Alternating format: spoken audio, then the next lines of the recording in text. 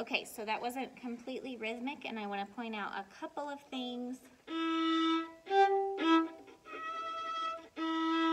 Okay, you're going to leave your first finger down on that um, E.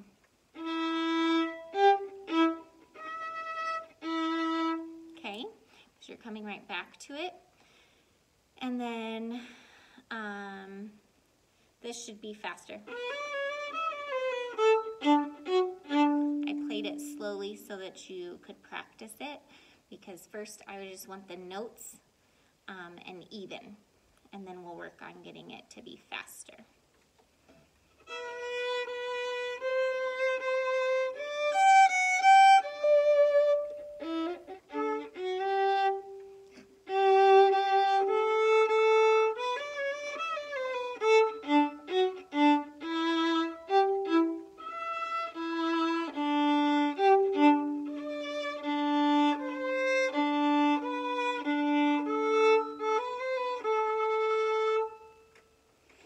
and that part repeats itself.